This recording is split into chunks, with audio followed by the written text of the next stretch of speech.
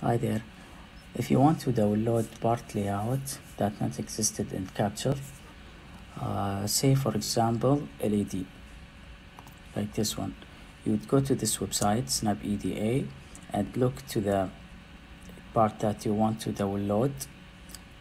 Uh, in my case, uh, I want to download this LED. I would go to download, then OrCAD Allegro. After it's downloaded, go to download folder, then extract here. Make sure you have this file EDF. Then go file, import, EDIF, same folder, open, then go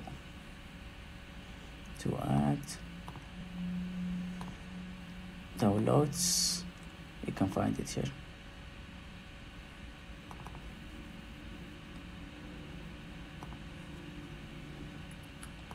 Thank you